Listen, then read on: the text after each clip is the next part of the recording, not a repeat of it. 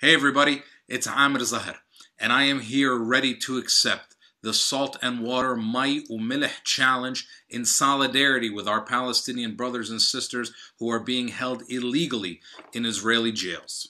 Here we go.